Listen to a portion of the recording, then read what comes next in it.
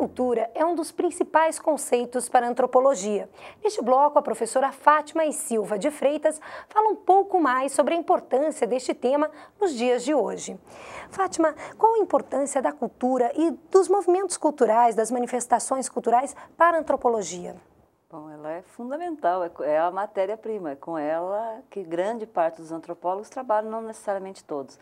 Da mesma forma que o conceito de, de cultura não é uma invenção dos antropólogos.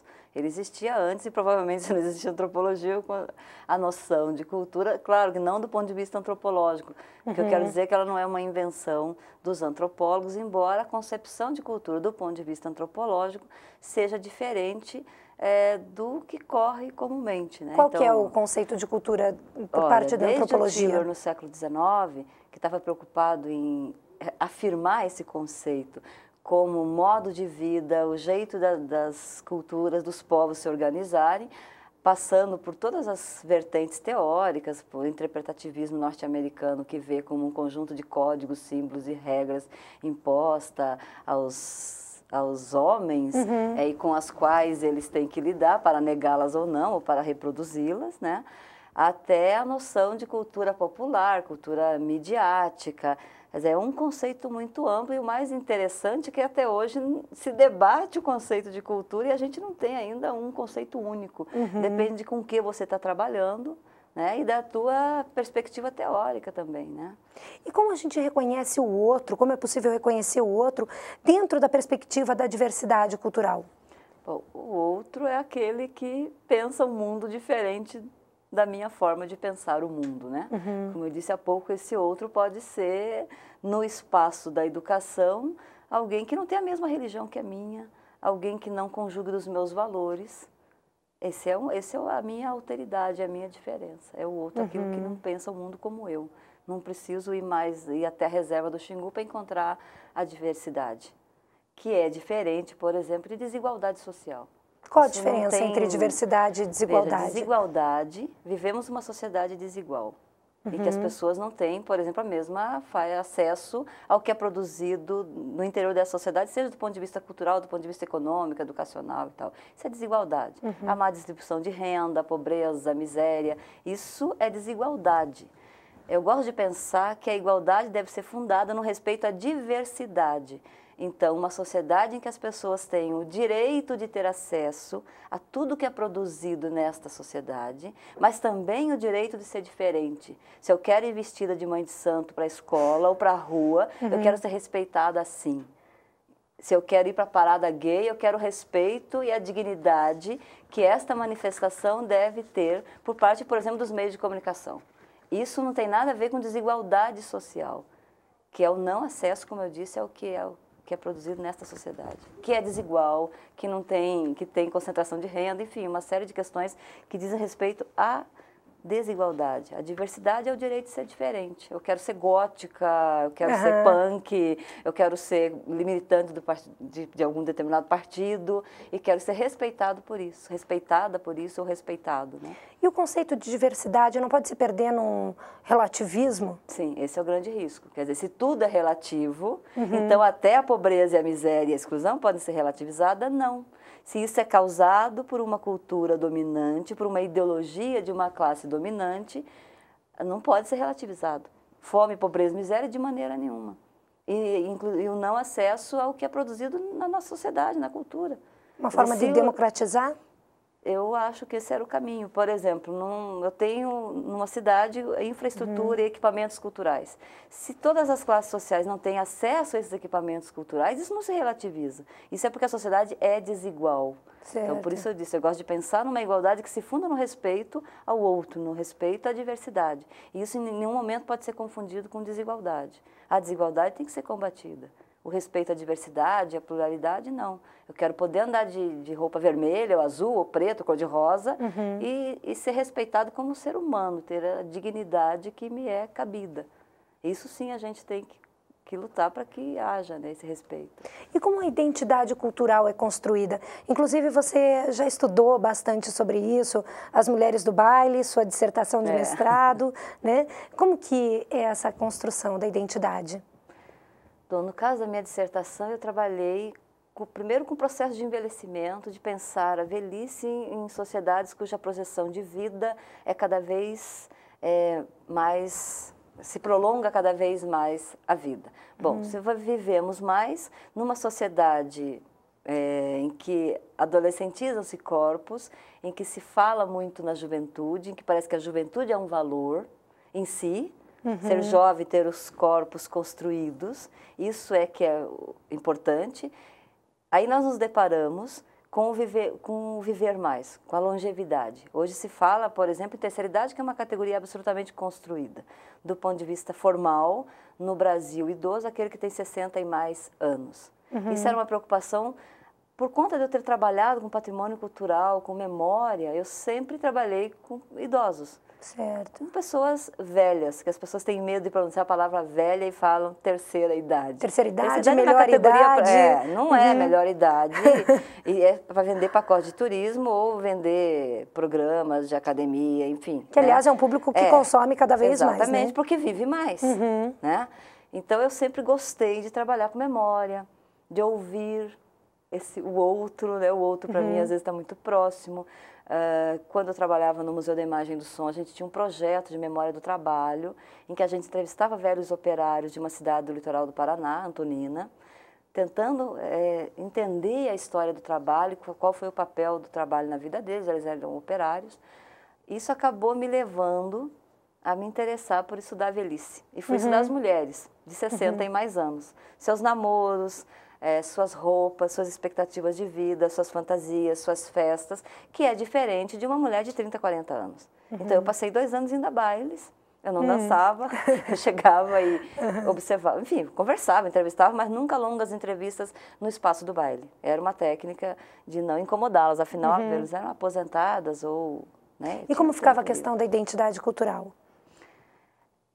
É engraçado porque isso se constrói muito mais de, de fora para dentro, a gente chama de categorias nativas, é velho, ninguém diz que é velho. Essa é uma categoria uhum. de, de fora, não é uma categoria que eu me vejo como velho. Uhum. Elas se viam como mulheres de 60, 70 anos, bonitas, que gostavam de se arrumar e que queriam estar no mundo. Elas não se viam como velhas. Era o olhar do outro. É, o olhar do outro que diz o que é velho. Né? Tem um livro da Simone de Beauvoir que é muito interessante que chama Velhice que vai estar trabalhando também com essa noção do que, que, é, o que, que é o velho. Numa sociedade como a nossa, as coisas ficam velhas rapidamente, as pessoas também. É quase como uma máquina de moer gente. Né? Uhum. Uma sociedade em que se você não serve para o trabalho, você não serve para nada. Uhum. Mas aí nós vivemos mais em função do avanço da própria é, medicina, medicina, da ciência, uhum. das aposentadorias, em que pese todas as críticas às aposentadorias, mas quando você universaliza e em tese todo idoso tem direito, e no caso do Brasil, por lei também todo idoso tem direito a uma aposentadoria, vive-se mais. Certo. E aí? Ele não, não dá mais para o mundo do trabalho, o que, que essa sociedade que é prescritiva, que diz para as pessoas o que elas têm que fazer, que te dá uma identidade, a sociedade dos mídias diz isso, né? Os meios de comunicação de massa uhum. não dizem que perfume eu devo usar, que roupa uhum. eu devo usar em determinada época e tal, e daí tenta prescrever também como ser velho. Então, te categorizam, te colocam Então, há uma cultura dominante? Sim. Ah, numa sociedade capitalista como a nossa, há uma cultura dominante decorrente de uma ideologia das classes dominantes. Que interfere tanto na sociedade quanto no indivíduo. Sim, ah, o indivíduo é constitutivo desta sociedade, uhum. né? Das concepções é, de mundo, tá? é constitutivo também de uma classe social. Sim, por exemplo, no meu caso, quando eu estudo envelhecimento, as desigualdades e as diversidades, elas vão para a velhice também, embora uhum. se tente homogeneizar o velho. Então, o velho reage igual, enfim, tem as mesmas vontades, ou não tem mais vontade, ou é, ou é assexuado, não. E quando a essa questão é o adolescente, por exemplo? Bom, eu nunca estudei o adolescente, uhum. né? Mas também ele muito mais submetido a esse a esse apelo de uma sociedade midiática. de classe uhum. midiática, ao apelo do consumo, do shopping, da roupa, da comida. É um apelo do marketing alimentar, por exemplo, do que é das bobagens que ele deve comer, uhum. bobagens do meu ponto de vista. Vamos relativizar, uhum. afinal relativizar. de contas. Como eu, mas também, por outro lado, nem tudo se relativiza, né? Mas há sim um apelo. E essa cultura dominante, ela cria estereótipos e contribui para a manutenção dessa discriminação? Não só para a manutenção da discriminação, como para a manutenção da ordem social do ponto de vista de como as classes estão nas hierarquias e no poder. Sim, uhum. se nós uhum. pensarmos, eu gosto de brincar com meus alunos esse comercial de margarina. Uhum. A vida não é um comercial de margarina. Isso Onde tem é a família ideológico, ideal. a família ideal, as pessoas felizes, a mulher penteada, ninguém Às briga por banheiro e tem margarina. Meu uhum. Deus, nós vivemos numa sociedade em que todos têm margarina, todos têm mesa e cortina esvoaçante. Isso nós podemos extrapolar para as novelas, por exemplo. Como se resolvem os conflitos sociais nas novelas entre pobres e ricos? Tem aí um papel da ideologia dominante é, se resolve, um amigo arranja um emprego ou casa com alguém que tem mais dinheiro, mas não, nunca a gente tem uma discussão, até que daí não seria novela das oito, né? Uhum. Uma discussão do ponto de vista é, de como romper com essas barreiras de classe, de como romper com esse modelo de sociedade, né? Então, e como que fica a, a questão das raças criada por esses estereótipos, por exemplo? Bom, hoje nós temos já o movimento negro trabalhando em função das cotas, a, a lei que inclusive vai para a educação, eu não vou me lembrar uhum. da lei, 10 mil alguma coisa, uhum. né, que já tenta trabalhar, por exemplo, história da África, não do ponto de vista da África sofrida e da fome e da miséria, mas de uma África que vai ter influência no, na nossa cultura, por exemplo, quando pontuar quando está falando do Egito, é a África e toda a civilização egípcia e tal, de tentar romper com isso e trabalhar inclusive a identidade da criança negra, de que é importante a contribuição da história africana e dos africanos na consolidação da cultura brasileira, de romper com esses estereótipos de inferioridade e de não passar por essa coisa preconceituosa de negar o, o preconceito, de negar o racismo que existe no Brasil. Então, de ter a coragem, isso que é o papel dos professores também, de ter a uhum. coragem de admitir que nós vivemos numa sociedade preconceituosa. Há tempos atrás eu li um texto, que eu inclusive trabalhei com as minhas alunas de pedagogia, que um menino pediu para a professora para sair mais cedo porque ele tinha que ir ao médico. Uhum. A professora, que devia estar presa, disse assim, mas psicólogo de negro é macumbeiro. Hum. Isso é um absurdo é numa escola brasileira numa escola de um país cuja formação do seu povo é multiétnica. Nós temos um Sim. monte de problemas nesse país, mas ainda não tivemos uma guerra entre etnias, mas nós temos outros problemas de segregação também. Basta ver onde moram os oriundos, enfim, os, os povos é, afrodescendentes que vivem no Brasil. E a cultura Qual é popular? de vida? Ela também é, acaba reproduzindo, produzindo ou reproduzindo esses preconceitos? Em alguns momentos, sim, porque se a gente pensar a cultura popular, não pode ser colocada num, numa vitrine. Tá, então como então, que a gente isso poderia... Isso aqui é o que o povo uhum. faz, é, isso aqui é o que a mídia faz. Isso é um uhum. processo dinâmico de interferência de uma em outra. Então, se uhum. você pega a festa junina e tem o caipira estereotipado, aí está contribuindo para o preconceito. O caipira não vai na festa com remendo desse tamanho caindo da calça, uhum.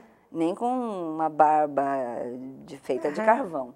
Já há quem questione isso. Se não seria melhor pensar as tradições juninas, a importância das tradições juninas no Brasil, a importância para o Nordeste, o tipo de alimentos que se consome e tal e tal, e não fantasiar as criancinhas urbanas e de classe média de caipira, uhum. que chega a ser um desrespeito ao caipira. Nem todo caipira tem os dentes podres. Nem toda mulher caipira passa blush, blush com pintinhas pretas uhum. no meio. Isso é um estereótipo. Então, sim, dependendo de como você conduz isso em sala de aula, você pode reforçar preconceitos e estereótipos. Ou se você coloca, é, vai falar do saci e dá uma ideia de que isso tem a ver com a visão pejorativa dos negros e não como um demônio simpático que faz parte da cultura brasileira. Uhum. Que pese que em outras culturas também nós vamos encontrar pequenos demônios, os tricksters e tal, tricksters. E uhum. no Brasil nós temos a figura do Saci Pererê. Dizer, depende de como esses professores vão estar trabalhando com isso. E aí é muito importante é, que os professores pensem sobre identidade cultural, diversidade, sobre alteridade, sobre o outro, que é um caminho para o Mesmo porque respeito. essa é uma realidade da escola sim, brasileira. Sim. A escola como espaço da contradição, né? Porque ao mesmo uhum. tempo que ela tenta homogeneizar, isso é sabido, né? É dentro da escola que também essas contradições vão estar presentes, não só as contradições do ponto de vista das práticas culturais, mas uhum. do ponto de vista político, econômico também, do ponto de vista das contradições entre as classes sociais. A escola é o espaço da contradição. E pode ser até mesmo desse repertório que essa criança Exatamente. traz de casa. A criança traz um repertório que do ponto de vista cultural é muito rico, então eu tenho que considerá-la como um sujeito histórico e não como alguém que eu tenha que, que condicioná-la ou que conformá-la né? Ela, é, um, ela é um sujeito da história, ela traz uma história da família, uma história da, da, classe trabalhadora, se for uma criança oriunda das classes trabalhadoras, ela, ela é detentora de um patrimônio, de um conhecimento que eu, como professor, devo, uhum. deveria, né, uhum. respeitar. Que às vezes muito mais, às vezes é o medo que faz o não respeito, é o medo de chegar perto, de saber que ele pensa diferente de mim, que ele se organiza de forma diferente da minha. Porque aí eu vou ter que questionar. É uma barreira. É porque quando eu me deparo com essa diversidade, eu tenho que pensar em mim mesmo. Então o que eu faço não é da ordem uhum. da natureza, é da ordem da cultura. Diz respeito à, à, à cultura. Né? Essa cultura dominante contribui para uma alienação? O que é a alienação? Ah, com certeza. para alienação, sim, porque quanto mais eu estiver eh, sendo tomado por essa forma dominante de pensar o mundo, mais eu vou estar alienado, menos eu vou estar é, sendo conhecedor das minhas condições reais e concretas de existência. Então, por uhum. exemplo, se pela novela, vamos pegar a novela que todo mundo Ótimo. assiste e tal, eu tenho uma visão de mundo das, das elites. Agora que está no ar, sem citar nomes por questões uhum. éticas, né? A vida não é isso, não são esses conflitos da classe média, essa choradeira, essa lenga-lenga uhum. toda. A vida real do povo brasileiro vai além dessa plasticidade toda que me é mostrada. Quando eu conseguir, como jovem, como adolescente, ter consciência da minha condição de classe, da minha condição de cidadão e das coisas que eu tenho ou não acesso, eu posso vir a lutar para transformar essa sociedade. Eu posso vir a querer, digamos assim, um mundo melhor, né? Tem, professora, como exemplificar em que momento da vida cotidiana essa alienação se manifesta? No consumo, no dia a dia, na relação que eu tenho com a escola, com os professores, dos professores com uhum. os alunos. É possível uma prática mais consciente do mundo. Mas ela, essa alienação ela pode estar presente. É porque a alienação é um jeito de estar no mundo, mas ela pode ser diferente. Eu posso estar no mundo de forma consciente. Porque uhum. não dá para esquecer que a alienação também é uma forma de estar no mundo. No próximo bloco, vamos conversar sobre diversidade cultural e antropologia na sala de aula. Voltamos já.